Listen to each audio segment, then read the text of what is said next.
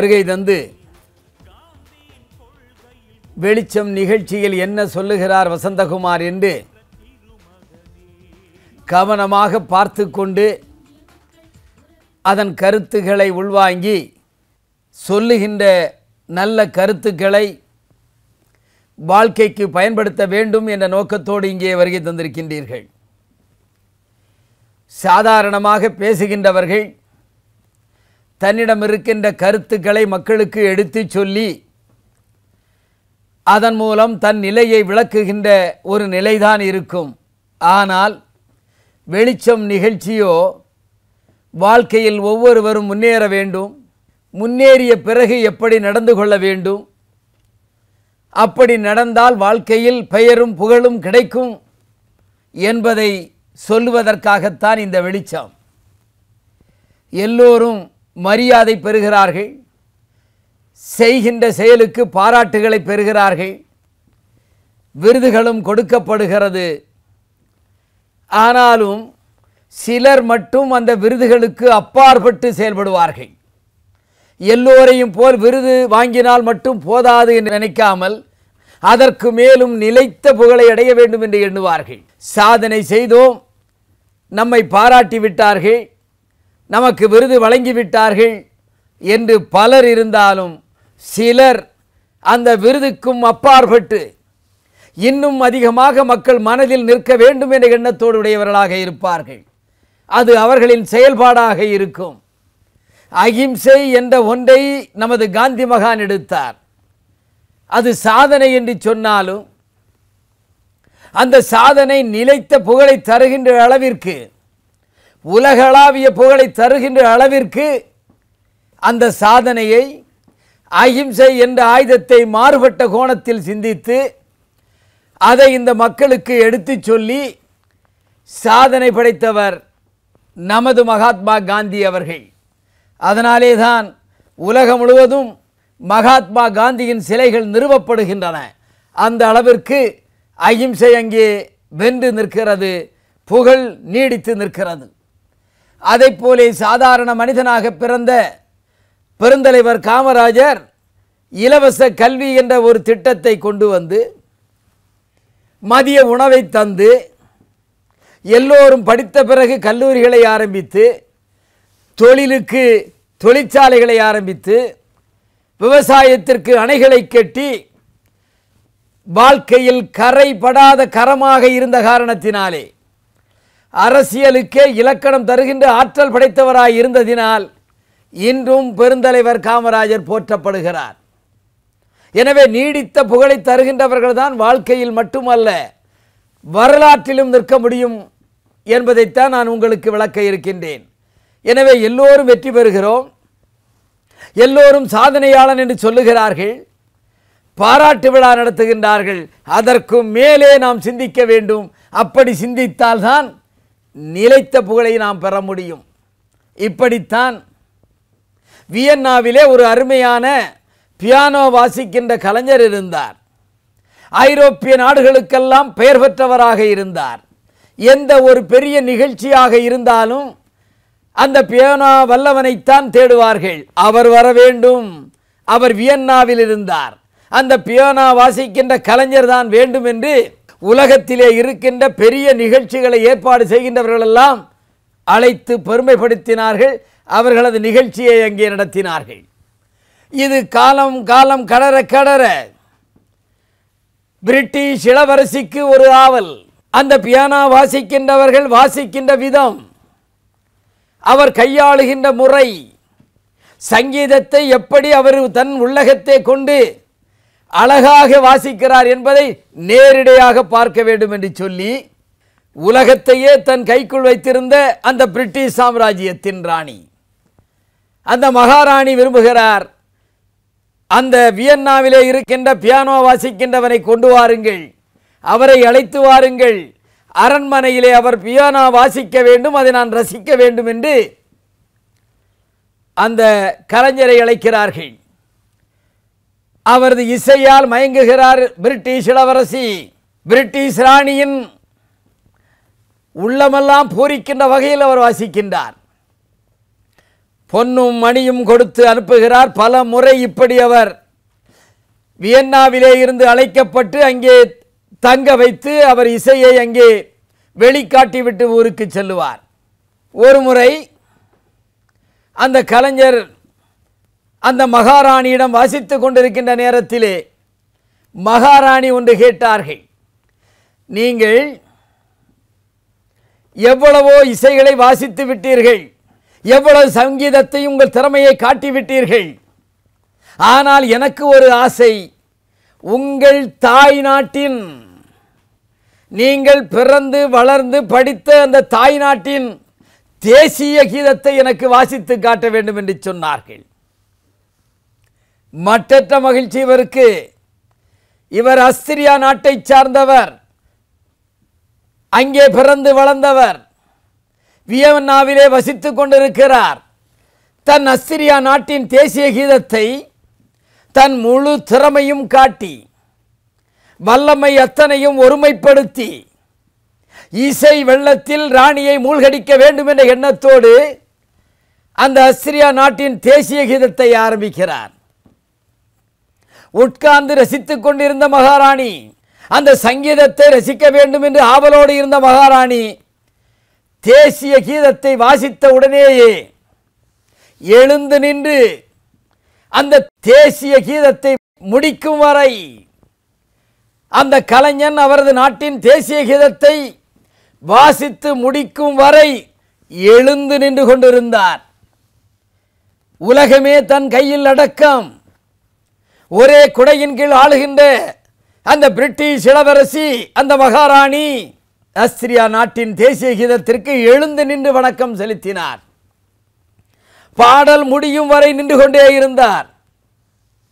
கலைஞருக்கு மட்டற்ற மகிழ்ச்சி.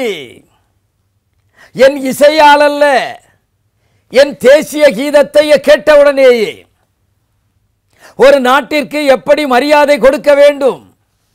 தேசிய கீதத்திற்கு அந்த நாட்டு மக்கள் எப்படி வரவேற்பு கொடுப்பார்கள் என்பதை மனதில் நிறுத்தி பிரிட்டிஷ் மகாராணி அங்கே எழுந்து நின்றதை பெருமையாக சொன்னார். ஒரு நண்பர் அவரிடம் கேட்டார் கலைஞரே இசை வல்லுனரே நீங்கள் எவ்வளவோ நாடுகளுக்கு சென்று உங்கள் திறமையை காட்டியிருக்கின்றீர்கள். மக்கள் மட்டுமல்ல பல அரசாங்கங்களும் உங்களை பாராட்டி இருக்கிறது ஆனால் நீங்கள் வாங்கிய பரிசுகளில் மிகச்சிறந்தது எது என்று கேட்ட நேரத்திலே தான் அந்த பியானோ கலைஞர் சொன்னார் எத்தனை விருதுகளை நான் பெற்றாலும் எத்தனை பரிசுகளை நான் பெற்றாலும் என் நாடு நான் பிறந்து வளர்ந்த நாடு என் தாய் திரு நாட்டின் தேசிய கீதத்தை நான் இசைக்கின்ற பொழுது பிரிட்டிஷ் மகாராணி எழுந்து நின்று கடைசி வரையிலே வணக்கம் செலுத்தினாரே அதுதான் எனக்கு மிகச்சிறந்த ஒரு பொக்கிஷமாக ஒரு பாராட்டாக எனக்கு அங்கீகாரமாக நான் நினைக்கிறேன் என்று சொன்னான். இதிலே இருந்து புரிந்து கொள்ள வேண்டும். நம்மை விட நம் சாதனையை விட அதற்கு மேலாக தாய் திரு நாடு சிறந்தது. தாய் திரு நாட்டின் தேசிய கீதம் மிகச்சிறந்தது. அப்படித்தான் நினைக்க வேண்டும் ஒவ்வொருவரும். இங்கே வருகை தந்த பெருமக்கள் எல்லாம் நம் நாடு நம் நாடு இந்தியா. இந்திய தேசத்தின் தேசிய கீதத்திற்கு நாம் மரியாதை கொடுக்க வேண்டும். அப்படி கொடுத்தால்தான் இந்த நாடு நாட்டு பற்று நமக்கு வளரும் என்பதை நாம் நினைவில் கொள்ள வேண்டும். எனவே வெளிச்சம் நிகழ்ச்சியில் நிகழ்வுகளை சொல்லுகிறேன். பிரிட்டிஷ் மகாராணி எழுந்திருக்க வேண்டிய அவசியம் இல்லை அப்படி அவர் எழுந்து நிற்காவிட்டால் கூட யாரும் கேட்பதில்லை. கேட்பதற்கு அதிகாரம் இல்லை ஆனாலும் எவ்வளவுதான் உயர உயர பறந்தாலும் எவ்வளவுதான் பெரிய ஆளாக இருந்தாலும் சரி உலகம் என்று ஒன்று இருக்கிறது. அந்த உலகத்தின் நடைமுறை பழக்கங்களை நாமும் கடைபிடித்து நடக்க வேண்டும் என்பதற்காகத்தான் இதை சொன்னேன். அதைத்தான் அந்த பிரிட்டிஷ் மகாராணி அவர்கள் செய்தார்கள். வியன்னா கலைஞர் அவனை அவன் பாராட்டினான். அந்த அளவிற்கு ஒவ்வொரு நாட்டு மக்களும் தன் நாடு தன் மக்கள் என்று பெருமையோடு வாழ வேண்டும் என்பதற்காகத்தான் இந்த நிகழ்ச்சியை உங்களுக்கு சொல்லுகிறேன். பரிசு பெறுவது பெரிதல்ல. நான் வல்லவன் என்று சொல்லுவதில் பெரிதல்ல. ஆனால் வல்லவனுக்கும் இருக்கின்ற ஒரு நல்ல எண்ணத்தை நாம் புரிந்து கொள்ள வேண்டும். அப்படி என்று சொன்னால்தான் வாழ்க்கையில் நாம் வாழ்ந்த வாழ்க்கைக்கு ஒரு அர்த்தம் இருக்கும். அதைத்தான் பியானோ கலைஞர் அங்கே நண்பனிடம் சொன்னான் எனக்கு மிக உயர்ந்த ஒரு பரிசாக என் நாட்டின் தேசிய கீதத்திற்கு அவர் மரியாதை கொடுத்ததை நான் நினைக்கிறேன் என்று சொன்னான். இப்படித்தான் ஒவ்வொருவரும் ஒவ்வொரு நாட்டிலும் அந்த தேசிய கீதத்திற்கு மதிப்பு கொடுக்க வேண்டும். அமர்ந்திருக்கின்றவர்கள் இங்கே அமர்ந்திருக்கின்றவர்கள் வாழ்க்கையிலே முன்னேற வேண்டும் என்ற துடிப்பு உள்ளவர்கள். அந்த துடிப்பு உள்ளவர்கள் ஒவ்வொரு சூழ்நிலையிலும் ஒவ்வொரு நிலையிலும் என்ன நடக்கிறது என்ன பொருள்பட இந்த உலகம் இயங்கிக் கொண்டிருக்கிறது என்பதை கவனமாக பார்த்து தன் வாழ்க்கைக்கு அதை நாம் எடுத்துக்கொள்ள வேண்டும். இந்த நிகழ்வுகளை உள்ளே பதித்து கொண்டு எவ்வளவு பெரிய மகாராணியே எழுந்து நின்றார் என்று சொன்னால் அது உள்ளர்த்தம் நாடு. நாட்டின் தேசிய கீதம் பெரிது என்பதைத்தான் எடுத்து காட்டுகிறது. அப்படித்தான் ஒவ்வொருவரும் நினைத்து வாழ்க்கையில் முன்னேற வேண்டும்.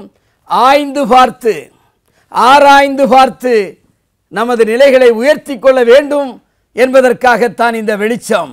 வெளிச்சம் எல்லோருக்கும் வர வேண்டும் என்பதற்காகத்தான் இந்த நிகழ்வுகளை நான் எடுத்துச் சொல்லுகிறேன் உங்களுக்கு. வெளிச்சம் நிகழ்ச்சியில் கலந்து கொண்டிருக்கின்ற இளைஞர்களுக்கு ஒன்று சொல்வேன். உங்களிடம் இருக்கின்ற ஆற்றலை வெளியே கொண்டு வர வேண்டும் என்பதற்காக. அந்த ஆற்றலை எப்படி பயன்படுத்த வேண்டும் என்பதற்காகத்தான் வெளிச்சத்தில் உங்களை நான் அழைத்து வந்திருக்கின்றேன். இடம் பொருள் ஏவல் என்று சொல்வார்கள் மெத்த படித்தவனாக இருந்தாலும் அனுபவசாலியாக இருந்தாலும் எதற்கெடுத்தாலும் நான் நீ என்று முந்திக் கொள்ளக்கூடாது. எல்லாம் தெரியும் என்று நாம் நினைப்போம். ஒரு சிறு கேள்வியிலே நாம் அங்கே மடங்கி விடுவோம். நம்மால் பதில் சொல்ல முடியாது. அவ்வை பிராட்டியார் தமிழை முற்றும் பாய்ந்தவர் தெரியாதது ஒன்றும் இல்லை என்று அளவிற்கு தமிழை முற்றும் அறிந்து கரைத்து குடித்தவர். அவருக்கே ஒரு சிறுவன் ஒரு சாதாரண மாடு மேய்க்கிற பையன் ஆடு மேய்க்கிற பையன் ஒரே ஒரு கேள்வியை கேட்டான்.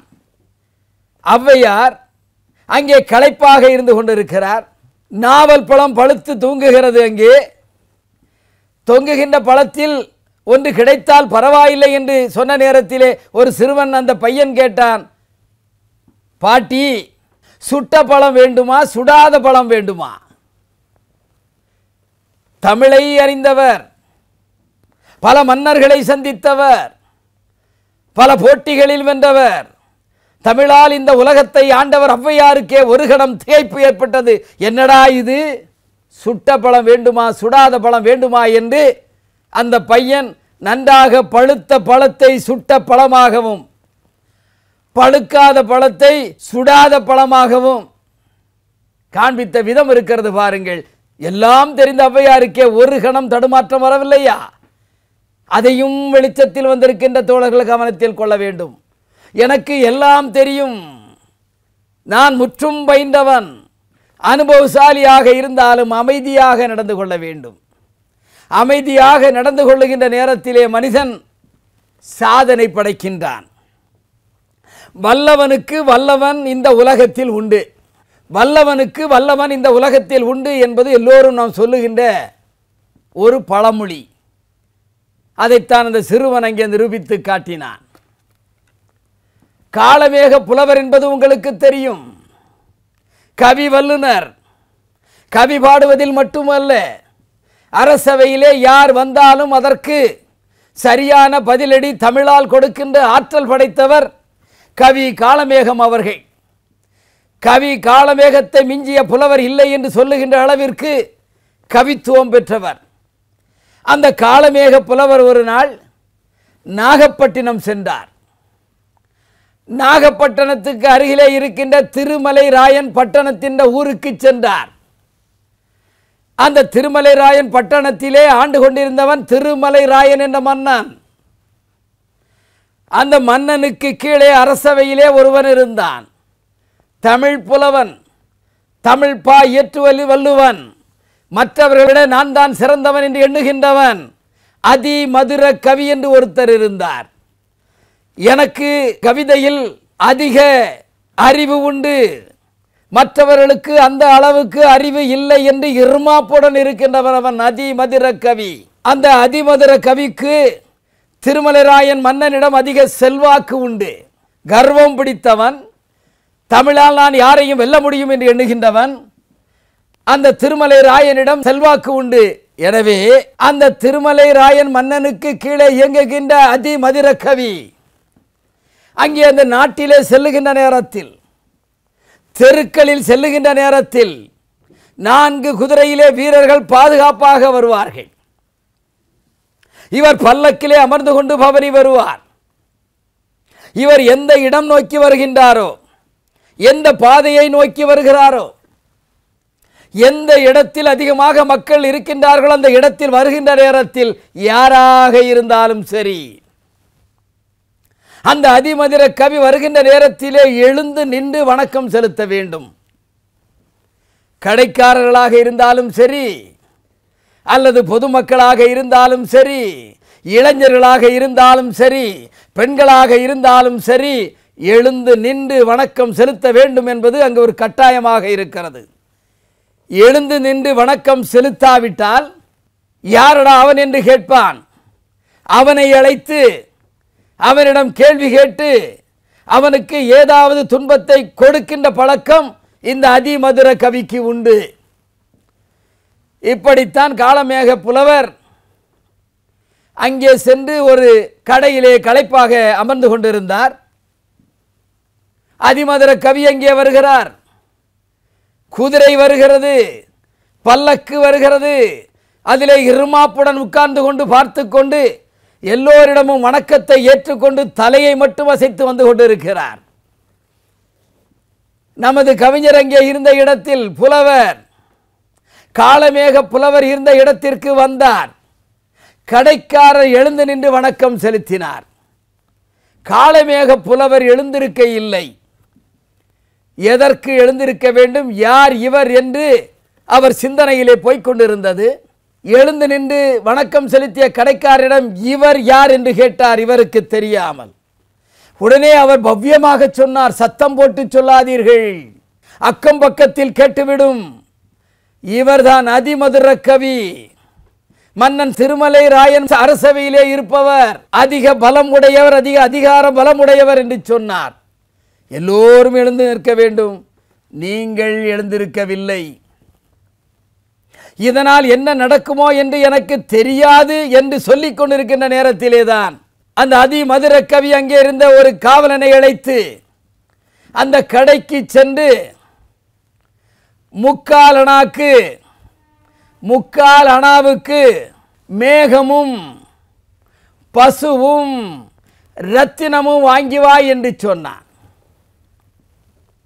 முக்கால் அணாவை கொடுத்து மேகமும் பசுவும் இரத்தனமும் வாங்கி வா என்று அந்த காவலாளியை அனுப்பினான். அந்த காவலாளி இந்த கடைக்காரரிடம் வந்து கேட்டான் ஐயா முக்கால் அணாவுக்கு மேகமும் பசுவும் ரத்தினமும் கொடுங்கள் என்று கடைக்காரன் கேட்டவுடனே ஐயோ வந்துவிட்டது வினை. புலவரே நீர் எழுந்திருக்கவில்லை. எனவே புலவர் என்னை தண்டிப்பதற்கு வழிமுறைப்படுத்தி விட்டார். எனக்கு ஒன்றுமே புரியவில்லையே என்று சொன்னான். கவி காலமேகம் சாதாரண மனிதனா. ஆய்ந்து பார்த்து தமிழை அதன் அர்த்தத்தை அதன் போக்கை உணர்ந்தவன் கவி காலமேகம்.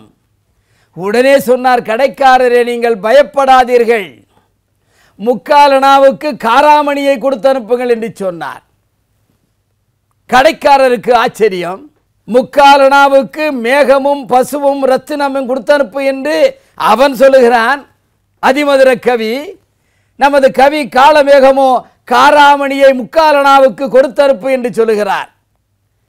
காராமணியை வாங்கி கொண்டு திகைப்போடு கொடுத்த கடைக்காரனும் திகைத்து நின்றான். வாங்கிய காவலாளியும் திகைத்து கொண்டு அங்கே கொடுத்தான். அப்பொழுதுதான் அதிமதுர கவிக்கு எட்டியது. அமர்ந்திருந்தவர் சாதாரண மனிதன் அல்ல கவி ஆற்றல் மட்டுமல்ல. சிந்திக்கின்ற ஆற்றலும் படைத்தவர் அவர். சீர்தூக்கி பார்த்து எந்த நிலையில் இவர் சொல்லுகிறார் என்பதை புரிந்து கொண்டவர். முக்காலனாவுக்கு இதை வாங்கி வா என்று சொன்னால் மற்றவர்களெல்லாம் மயங்கி விடுவார்கள். ஆனால் காலமேகமோ சொன்னார் கார் என்றால் மேகம் ஆ என்று சொன்னால் பசு. மணி என்றால் ரத்தினம். எனவே காரா மணியைத்தான் மேகமும் பசுவும் ரத்தினமும் வாங்கி வா என்று சொன்னான் என்று சொன்னவுடனேயே கடைக்காரருக்கு மற்றற்ற மகிழ்ச்சி. அங்கே அமர்ந்த அதிமதுர கவிக்கு ஒன்றும் புரியவில்லை. வல்லவனுக்கு வல்லவன் இந்த உலகத்தில் உண்டு என்பதை அங்கே காலமேக புலவர் நிரூபித்தார். இதுதான் வாழ்க்கை. எல்லாம் எனக்கு தெரியும் என்று சொல்வதை விட அடக்கமாக வாழ்ந்து சபையில் என்ன நடக்கிறது? என்ன பேசுகிறார்கள்? எந்த பொருளுக்காக இங்கே நாம் வந்திருக்கின்றோம்? அதில் நாம் எதை எடுத்துக்கொள்ள வேண்டும்? காலம் வருவரையிலும் காத்திருக்க வேண்டும். கவி காலமேக புலவர் பேச இல்லை. கடைக்காரிடம் அவர் சொன்ன பிறகுதான் அவர் வாயை திறந்தார். எனவே முற்றும் கற்றவர்கள் உலக அனுபவம் உள்ளவர்கள் எந்த சூழ்நிலையிலும் அவசரப்பட்டு பேசக்கூடாது. வெளிச்சத்தில் வந்திருக்கின்ற இந்த நமது நண்பர்களுக்கு சொல்லிக் கொள்வேன். எந்த சூழ்நிலையிலும் என்ன நடக்கிறது என்பதை நீங்கள் கூர்ந்து பார்க்க வேண்டும். அதிலே இருக்கின்ற நிறை குறைகளை நமது ஆராய்ந்து. தேவைப்பட்டால் நாம் பதில் சொல்ல வேண்டும். நாம போய் முந்திக் கொண்டு எந்த பதிலையும் சொல்லக்கூடாது. பொறுமை காத்திருந்தால் அந்த அர்த்தத்தை புரிந்திருந்தால் வாழ்க்கையில் வெற்றி பெறலாம். அதிமதுர கவியும் வீம்புக்கு கேட்டான். தேவையில்லாமல் சொன்னான். ஆனால் ஒரு புலவன் மற்றொரு புலவனின் அந்த அறிவுத்தன்மையை பார்த்து பா- உள்ளார பாராட்டினான் வெளியே பாராட்ட மாட்டான். காரணம் அவன்தான் பெரிய மனிதன் என்று இங்கே உலாவி வருகிறான். எனவே வெளிச்சத்தில் வருகின்றவர்களுக்கு சொல்லுவேன் எந்த நேரத்திலும் கவனமாக வாழ்க்கையிலே இருந்து நடப்புகளை ஆராய்ந்து யார் என்ன சொல்லுகிறார்கள் அதிலே இருக்கின்ற உள்ளார்ந்த அர்த்தம் என்ன? யாரை கேட்கிறார்களோ அவர்கள்தான் பதில் சொல்ல வேண்டும். எல்லாம் எனக்கு தெரியும் என்று முந்திரி கொட்டை போல நாம் முந்தக்கூடாது. முந்தினால் வாழ்க்கையில் நமக்கு வெற்றி கிடைக்காது. எனவே வெளிச்சம் என்ற நிகழ்ச்சி வெற்றிக்காக மட்டும்தான். இருள் சூழ்ந்த இடத்திலே இருக்கின்ற மக்களுக்கு ஒரு அகல் விளக்காக. படிக்க படிக்க மனிதன் அறிவு வளருவதைப் போல அந்த படிக்க படிக்க அதிலே இருக்கின்ற தத்துவங்களை மனதில் புரிந்து கொண்டு வாழ்க்கை பயணத்துக்கு நாம் அதை பயன்படுத்த வேண்டும். வாழ்க்கை என்பது ஓடிக்கொண்டிருப்பது. ஓடிக்கொண்டிருக்கின்ற நேரத்திலே கிடைக்கின்ற அனுபவங்களை நாம் சேர்த்து கொள்ள வேண்டும். பார்க்கின்ற காட்சிகளை புரிந்து கொள்ள வேண்டும். அப்படி புரிந்து கொண்டால் வாழ்க்கையில் நமக்கு நிச்சயமாக வெளிச்சம் கிடைக்கும். அந்த வெளிச்சம் எல்லோருக்கும் கிடைக்க வேண்டும். அதைத்தான் பெருந்தலைவன் காமராஜ் போன்றவர்கள் நம்மை போன்றவர்களாம் வெளிச்சத்தில் வர வேண்டும் என்பதற்காகத்தான் தன்னையே தியாகம் செய்தார்கள். நம்மை போன்றவர்களெல்லாம் வெளிச்சத்தில் நடமாட வேண்டும் என்பதற்காகத்தான் மகாத்மா காந்தி சிறைச்சாலைக்கு சென்றார். நம்மை போன்றவர்களெல்லாம் வாழ வேண்டும் என்பதற்காகத்தான் பல்லாயிரக்கணக்கான மக்கள் ஏன் லட்சக்கணக்கான மக்கள் சிறைச்சாலையிலே அங்கே அடைபட்டார்கள் இறந்தார்கள். எனவே வாழ்க்கையிலே வெளிச்சம் என்பது ஒவ்வொரு நிலையிலும் தன்னை உணர்ந்து கொண்டு தன் நிலையை உணர்ந்து தன் ஆற்றலை உணர்ந்து அதன் மூலம் வாழ்க்கையில் வெற்றி பெற வேண்டும் என்பதற்காகத்தான் வெளிச்சம் நிகழ்ச்சி. ஒரு சாதாரண நிகழ்ச்சி தான் நிகழ்வுகளை உங்களுக்கு எடுத்துச் சொல்லுகிறேன். அந்த நிகழ்வுகளில் இருக்கின்ற உள்ளார்ந்த அர்த்தங்களை உள்வாங்கிக் கொண்டு வாழ்க்கையில் வெற்றி பெற வேண்டும் படிக்க வேண்டும். புத்தகங்களை படிக்க வேண்டும். மேலே இருந்து கீழ் நோக்கி படிக்கிறோம் புத்தகத்தை. மேலே இருந்து கீழ் நோக்கி படிக்கிறோம் புத்தகத்தை. புத்தகமோ கீழே இருக்கின்ற நம்மை மேல் நோக்கி மேல் நோக்கி நம்மளை உயர்த்துகிறது. அதற்கு காரணம் அனுபவசாலிகளின் எழுத்து. அதிலே இருக்கின்ற கருத்து. அந்த கருத்து நம் மனதில் பதிகின்ற நேரத்திலே நாமும் வாழ்க்கையில் வெற்றி பெறுவதற்கு வெளிச்சத்தில் வருவதற்கு அந்த புத்தகங்கள் நமக்கு வழிகாட்டுகின்றன. ஐம்பது ஆண்டுகள் நூறு ஆண்டுகள் வாழ்ந்தவன் வரலாற்றை படிக்கின்ற நேரத்திலே நாம் ஒரு வாரத்தில் ஏழு நாட்களில் அந்த புத்தகத்தை படித்து நாம் முடித்தால் எழுபத்தைந்து ஆண்டுகள் வாழ்ந்தவன் சரித்திரம் ஏற்ற தாழ்வுகள் அவன் எந்த சூழ்நிலைகள் தன்னை சமாளித்தான் பள்ளங்கள் வருகின்ற பொழுது எப்படி தாண்டினான் சிரமங்கள் வருகின்ற நேரத்தில் எப்படி சமாளித்தான் என்று நமக்கு தெரியும். அதற்காகத்தான் வெளிச்சம். எனவே ஒவ்வொருவரும் வாழ்க்கையில் வெற்றி பெற வேண்டும். அதற்கு புத்தகங்களை படிக்க வேண்டும். மற்றவர்கள் சொல்லுவதை கேட்க வேண்டும். அறிஞர்களின் கருத்துக்களை நாம் ஆய்ந்து பார்த்து ஏற்றுக்கொள்ள வேண்டும். அப்படி ஏற்றுக்கொண்டால் நிச்சயமாக நமக்கு வாழ்க்கையில் வெற்றி கிடைக்கும். வெற்றி வெற்றி வெற்றி. அந்த வெற்றிக்கு அடிப்படை வெளிச்சம். அந்த வெளிச்சம் நமக்கு வேண்டும். வெளிச்சத்திலே நாம் எல்லா வகையான சாதனைகளும் செய்யலாம். அதற்காகத்தான் இந்த வெளிச்சம் நிகழ்ச்சி. இளைஞர்கள் பயப்படுகிறார்கள். எனக்கு இந்த உலகத்தில் வாழுகின்ற வாய்ப்பு கிடைக்குமா? எல்லோரும் பெரியவர்களாக மாறிவிட்டார்கள். என்னால் முடியுமா? எனக்கு சூழ்நிலை சரியில்லையே. பெற்றோர்கள் வசதி படைத்தவர்கள் அல்ல. சொந்தக்காரர்கள் உதவிட ஆள் இல்லை. நான் எப்படி முன்னேறுவது என்று இருட்டுக்குள்ளே இருப்பவர்களை வெளிச்சத்துக்கு கொண்டு வருவதுதான் இந்த வெளிச்சம். உன்னிடம் திறமை இருக்கிறது. இறைவன் கொடுத்த ஆற்றல் இருக்கிறது. அதை வெளியே கொண்டு வா. உன்னால் முடியும். உன் இரண்டு கால்களையும் நீ பயன்படுத்து.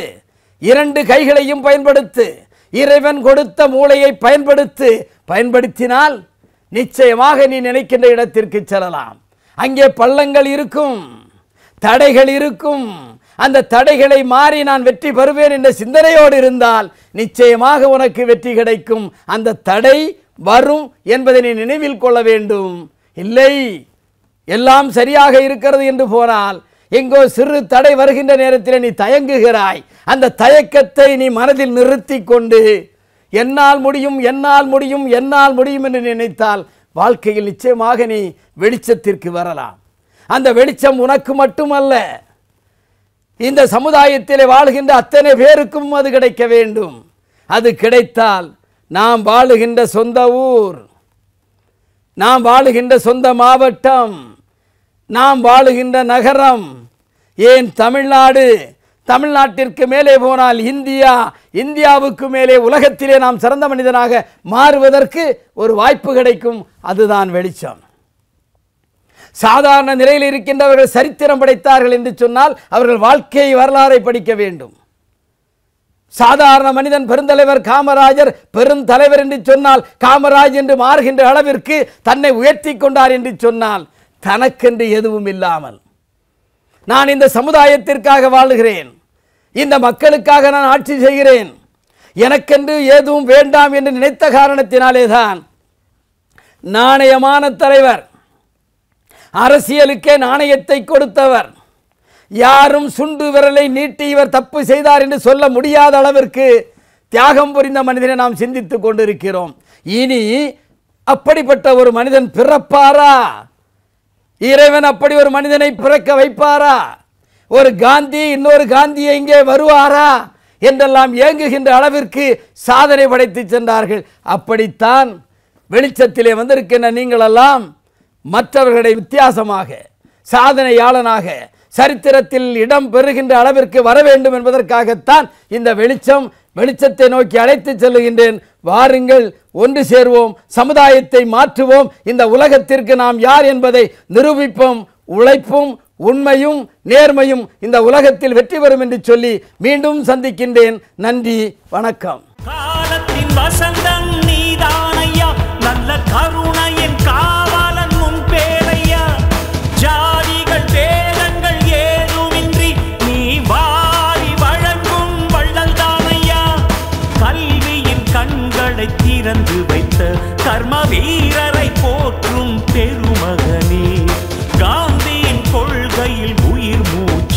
Sada